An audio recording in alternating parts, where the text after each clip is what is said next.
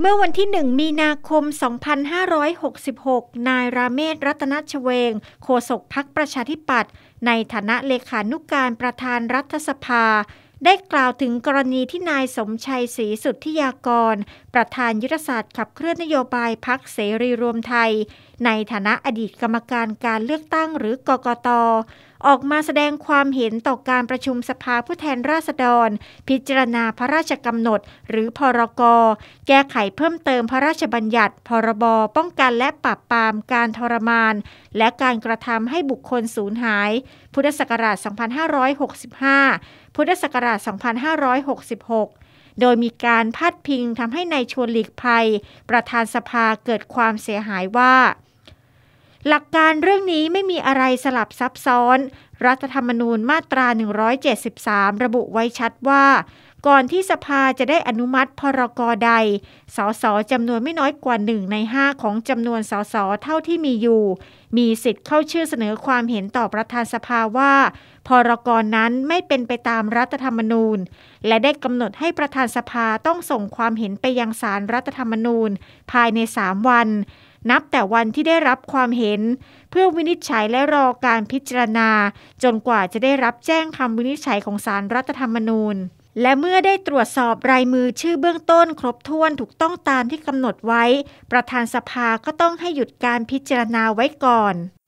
นายราเมศกล่าวว่านายสมชัยต้องหัดทำการบ้านศึกษากฎหมายให้แตกฉาน จะได้ไม่ต้องแสดงความเห็นปล่อยไก่แบบนี้ เพราะนายชวนตรงไปตรงมา ยึดหลักการตามที่รัฐธรรมนูญและข้อบังคับกำหนด ไม่เคยดำเนินการเรื่องใดที่ผิดกฎหมาย เมื่อมีการยื่นคำร้องต่อประธานสภาประเด็นระยะเวลา 3 วันนั้น เป็นเงื่อนเวลาที่ให้ประธานสภา ต้องส่งคำร้องให้สารรัฐธรรมนูญพิจารณาวินิจฉัยภายใน 3 วัน นับแต่วันที่ได้รับความเห็น ไม่ใช่ระยะเวลาที่ให้ประธานสภาทำการตรวจสอบความถูกต้องของลายมือชื่อภายใน 3 วัน ที่สำคัญสำนักงานเลขาธิการสภาผู้แทนราษฎร มีหน้าที่หลักในการตรวจสอบลายมือชื่อ โดยใช้ระยะเวลาที่ไม่นาน หลักการเรื่องนี้ยังไม่มีส่วนใดที่เกี่ยวข้องกับสารรัฐธรรมนูญว่า รับเรื่องความเห็นแล้วหรือไม่ เพราะรัฐธรรมนูญบังคับให้หยุดการพิจารณาไว้ก่อน เมื่อมีสสยื่นความเห็น ไม่มีอะไรสลับซับซ้อน ถ้าประธานสภารับเรื่องแล้วดำเนินการให้มีการประชุมต่อไป ก็จะผิดไปจากหลักการ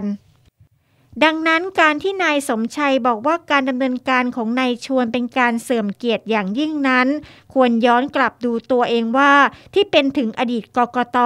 แต่แสดงความเห็นได้แย่ที่สุด ไม่มีแก่นมีแต่รากเน่า ยิ่งกว่าเสื่อมเกียรติ แต่คงไม่ต้องไว้อะไรให้นายสมชัย เพราะยังไม่ได้เสียชีวิต เพียงแต่สูญเสียในเรื่องหลักคิดที่ถูกต้อง และรากที่เน่าก็เชื่อว่า หากเจอยาดีๆ ก็อาจจะหายได้ นายราเมศกล่าวในตอนท้าย ดูคลิปจบแล้วอย่าลืมกดติดตาม และสมัครสมาชิก YouTube มติชนทีวีเพียงแค่สแกน QR Code ได้เลยครับ